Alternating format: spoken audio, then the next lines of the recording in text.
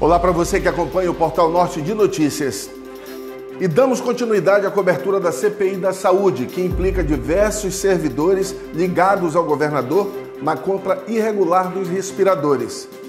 Trazemos agora outra informação importante. É o surgimento de mais uma pessoa da área de comunicação. Depois de Carla Polac e Daniela Sayag, é a vez de Jefferson Coronel aparecer como integrante da organização que lesou em quase 3 milhões os cofres públicos do Amazonas com a compra dos superfaturados e inadequados respiradores.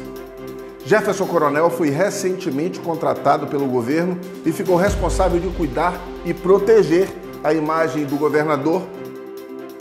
No depoimento de Dayana Merria, ela afirma e dá detalhes de como Jefferson Coronel tentou cooptá-la para justificar um vídeo publicado no dia 17 de abril e dessa forma proteger a errônea compra dos aparelhos comprados, mas que não serviram para o tratamento dos doentes da Covid.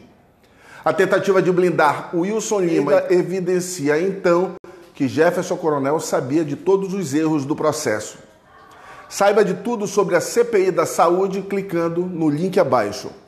Eu sou Nailson Castro, do Portal Norte de Notícias.